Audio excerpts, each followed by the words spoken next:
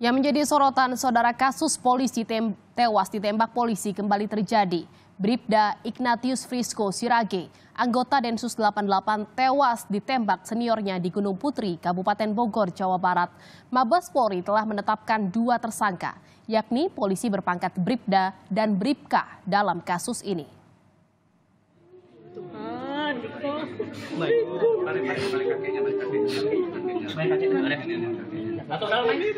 Peristiwa penembakan terjadi pada minggu dini hari kemarin.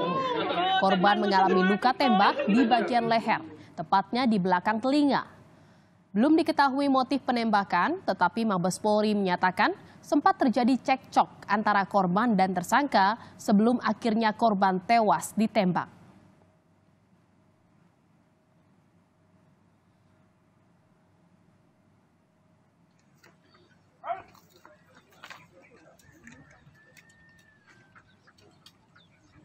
Pada Bribda Ignatius Dwi Rizko Sirade. Hormat, Jenderal! Setelah menjalani otopsi, jenazah korban langsung dibawa ke kampung halamannya di Kabupaten Melawi, Kalimantan Barat. Dipda Ignatius Frisco Sirage dimakamkan secara kedinasan di Pemakaman Umum Mawar, Nangapino, Kabupaten Melawi, Kalimantan Barat pada Rabu 26 Juli kemarin. Isak tangis keluarga pecah, tak menyangka anaknya akan meninggal dengan kondisi mengenaskan. Pihak keluarga berharap mengetahui apa motif di balik penembakan dan dua tersangka dapat dihukum berat. Amin. Selesai. mereka mau membantu kita dalam mengusut tuntas kejadian eh, yang kami alami. Terus untuk pelaku Pelaku pada saat itu sudah ditahan di tahanan, saya lupa juga di tahanan mana, pokoknya sudah, pokoknya ada lah di tahanan. Saudara sebelum tewas, Bribda Ignatius Dwi Frisco Sirage sempat menghubungi ibunya. Korban bercerita tentang kondisinya selama berada di Rusun Polri Cikeas Gunung Putri, Kabupaten Bogor, Jawa Barat. Di Rusun Polri Cikeas Gunung Putri Bogor, Bribda Ignatius Dwi Frisco Sirage sempat menghubungi ibunya melalui video call. Korban memberikan kabar kondisinya selama berada di Rusun Polri. Sekitar pukul 10 Sabtu malam, korban sempat bercerita bahwa dirinya sedang tak bertugas.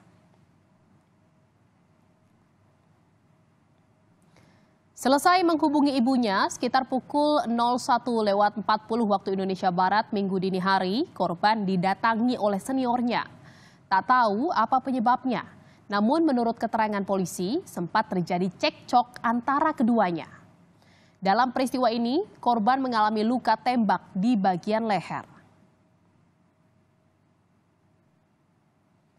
Saudara, peristiwa penembakan ini langsung ditangani oleh Mabes Polri. Ibu korban pun akhirnya dihubungi untuk diminta berangkat ke Jakarta dengan kabar anaknya sedang berada di ruang ICU. Setibanya di Jakarta, barulah kedua orang tua Bribda Ignatius Dwi Frisco Sirage diberitahu bahwa anaknya sudah meninggal dunia dengan luka tembak. Dan saudara informasi selengkapnya saat ini kita telah bergabung bersama orang tua almarhum Bribda Ignatius, ada Bapak Pandi. Selamat sore Pak, Pam, Pak Pandi, terima kasih atas waktunya Pak sudah ingin berkenan dan juga berbincang di Indonesia Update. Sebelumnya saya ingin mengucapkan turut berduka cita atas berpulangnya Bribda Ignatius, Pak Pandi. Pak Pandi bisa diceritakan bagaimana sebetulnya kronologi yang diceritakan oleh polisi kepada Bapak yang akhirnya anak Bapak, Bapak ketahui meninggal dunia akibat luka tembak. Baik, terima kasih. Selamat siang menjelang sore. Hmm, kronologis tentang kejadian ini saya langsung ke kronologis ya yang dijelaskan oleh tim hmm, penyidik dari Densus 88 anti teror. Mereka mengatakan mengatakan bahwa hmm, awalnya anak saya ini didatangi oleh uh, seniornya ini tadi. Nah, yang berjumlah sebenarnya menurut eh, keterangan tim penyidik itu tiga orang, tapi saya tidak tahu kenapa jadi dua orang. Eh, seperti apa yang dijelaskan di media sosial yang mungkin selama ini sudah sudah satu dua hari ini ber eh, sudah eh, tersebar ke mana-mana ya. Jadi saya ingin juga menjelaskan bahwa eh, ketiga pelaku ini mendatangi flatnya anak saya. Nah, jadi eh, seperti apa yang dikatakan oleh eh, Kompas TV tadi bahwa Belum diketahui ya Pak ya alasannya kenapa akhirnya eh, menurut pengakuan Bapak tadi tiga seniornya datang menghampiri anak Bapak saat kejadian terjadi itu belum diketahui. Apa alasannya? ya sampai saat ini kami juga belum mengetahui, tapi yang jelas pada saat itu memang ada semacam eh, bisnis senpi ya di dengan seniornya nih. Tapi anak saya mungkin ditawari barangkali mungkin anak saya mungkin menolak ya karena sudah tahu barang itu ilegal ya sehingga apa yang terjadi di situ mungkin jadi cekcok. Nah, akibatnya anak saya jadi korban. Sebelumnya Pak sempat eh, video call dengan eh, istri Bapak atau sang ibu dari almarhum. Ini apakah almarhum juga sempat menceritakan eh, apa yang sedang terjadi dengan antara eh, almarhum dengan senior-seniornya di eh, Rusun Polri itu Pak? Eh, pada mal- malam sebelum terjadi kejadian ini, almarhum tidak pernah mengatakan bahwa eh, akan terjadi hal seperti itu dan tidak ada masalah dengan senior seniornya, ya. Tetapi pada malam ini, malam malam sebelum kejadian jam 8 malam, beliau video call bersama saya.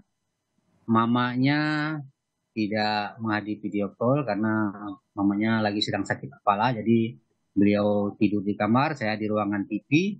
Jadi kami berdua yang uh, melakukan video call dengan almarhum.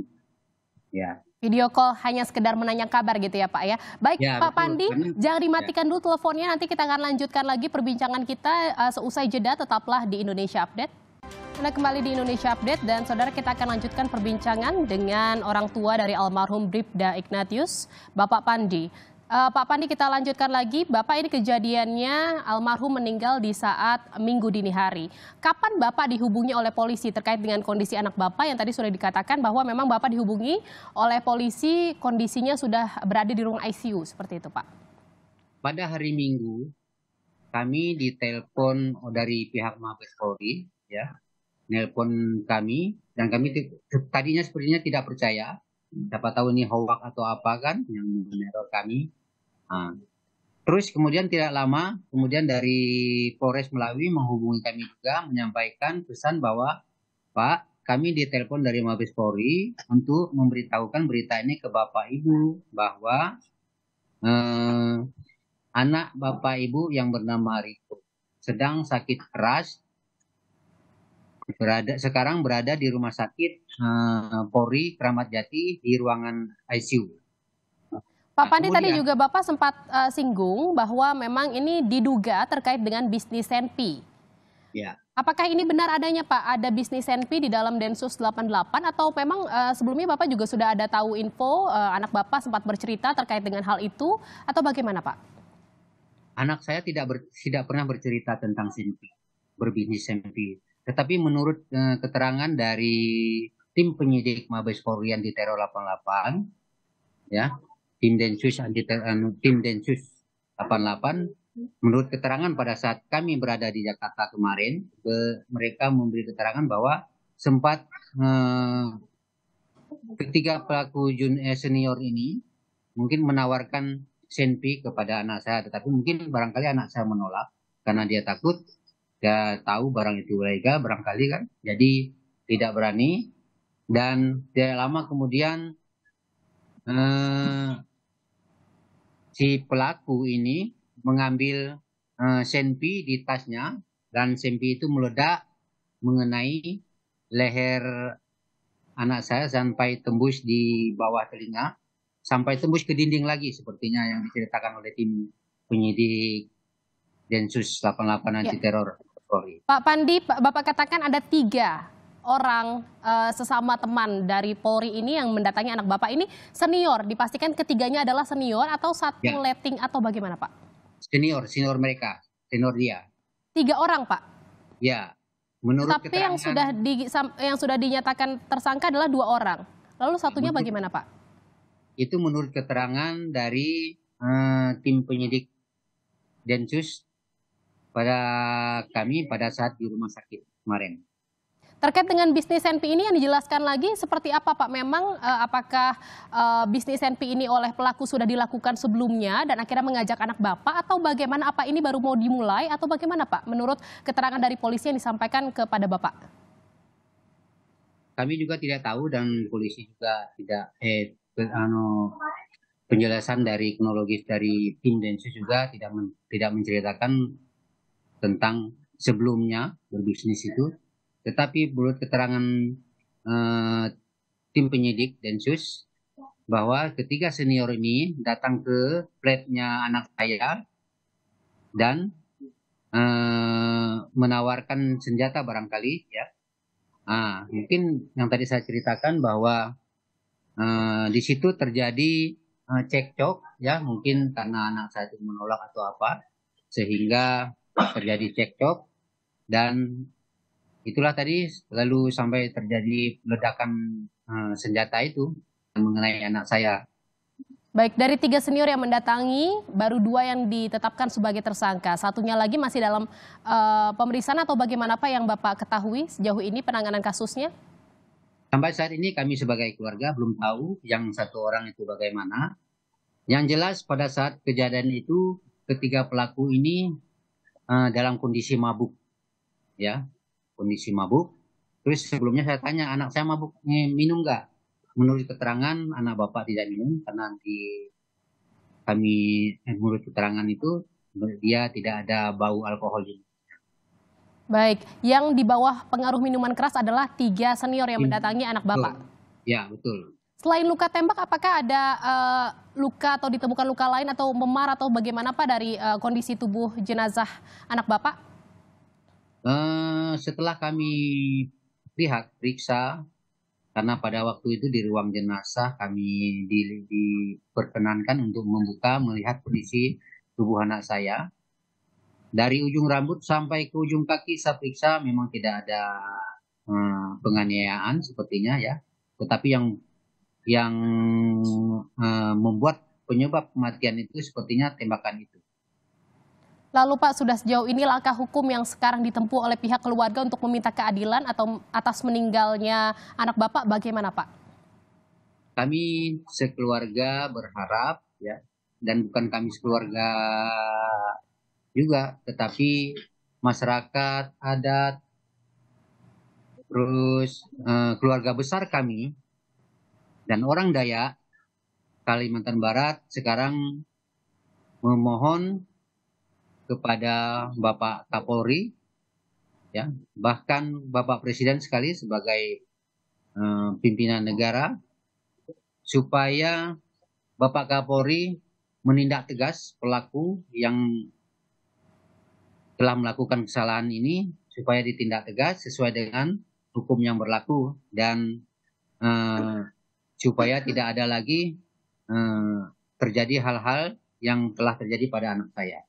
Baik, terima kasih atas informasi dan juga bincang-bincangnya Bapak Pandi, orang tua almarhum Bribda Ignatius yang tewas ditembak oleh seniornya di Rusun Polri, Gunung Putri, Bogor, Jawa Barat. Selamat sore Pak Pandi. Selamat sore, terima kasih.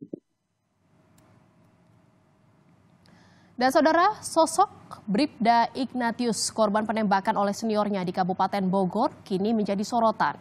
Korban adalah anggota tim Densus 88, lulusan Sekolah Polisi Negara. Bribda Ignatius di Frisco Siraj atau yang dikenal dengan Bribda Riko merupakan anggota Detasmen Khusus 88 Anti Teror Polri. Bribda Ignatius berasal dari Kabupaten Melawi, Kalimantan Barat. Ia termasuk anggota dari daerah yang dipilih oleh Mabes Polri untuk bertugas di Densus 88 Jakarta. Lulusan Sekolah Polisi Negara atau SPN Kepolisian Daerah Kalimantan Barat Kota Singkawang merupakan anak Iye Pandi, Sekretaris Inspektorat di Kabupaten Melawi, dan ibunya Inonsensia Antonia Tarigas, seorang staf di salah satu puskesmas di Melawi. Bribda Ignatius meninggal pada 23 Juli 2023 di Kabupaten Bogor karena ditembak oleh seniornya. Kita punya kepentingan untuk mendorong pihak kepolisian agar Blue Curtain Code atau kecenderungan menutup-nutupi kesalahan sejawat ini tidak berlangsung dalam investigasi kasus meninggalnya personil polisi di wilayah Bogor. Oleh karena itu, penting bagi polisi untuk mempertimbangkan untuk kasus-kasus yang menarik perhatian publik dan mengundang skeptisisme eh, besar dari keluarga korban patut dipertimbangkan untuk membentuk tim investigasi yang melibatkan pihak eksternal. Kasus polisi tembak polisi sebelumnya juga kerap terjadi. Kami kutip dari Kompas.com, sejaknya ada lima kasus penembakan dari periode 2019 hingga 2022. 25 Juli 2019 di Depok, Jawa Barat, Bribka Rahmat Effendi anggota Subdit Registrasi dan Identifikasi Ditlantas Polda Metro Jaya, tewas ditembak Brigadir Rangga Tianto, anggota Direktorat Polisi Air Badan Pemeliharaan Keamanan Polri. Motifnya karena emosi pengenangan kasus keluarga. 8 November 2019 di Donggala, Sulawesi Tengah. Aibda Nabut Salama, KSPKT 1 Polsek Sinareja, terluka ditembak Aibtu Purwanto, Kanit Sabara Polsek Sinareja, Motifnya adalah masalah pribadi. Selanjutnya 25 Oktober 2021 di Lombok Timur NTB. Bribtu Hairul Tamimi, Seksi Humas Polres Lombok Timur tewas ditembak Bribka M. Nasir, anggota Polsek Wanasaba. Motifnya karena cemburu. Pada 8 Juli 2022, berlokasi di rumah dinas Kadif Propam Polri Jakarta Selatan, Brigadir Yosua Ota Barat, Ajudan Ferdi Sambo tewas ditembak Barada Richard Lezer, Ajudan Ferdi Sambo. Motifnya adalah perintah atasan pembunuhan berencana. 4 September 2022, di Lampung Tengah Lampung, Aibda Aman Karnain, Babin Kaptimas, tewas ditembak Aibda Rudi Suryanto, pejabat sementara Kanit Provos Polsek W Pangubuan, Lampung. Motifnya adalah dendam. Emosi dan dendam rata-rata melatar belakangi kasus penembakan antar polisi. Namun apa motif yang melatar belakangi penembakan terhadap Bribda Ignatius? Hingga siang ini, polisi masih belum mau memberikan keterangan. Tim Liputan, Kompas TV.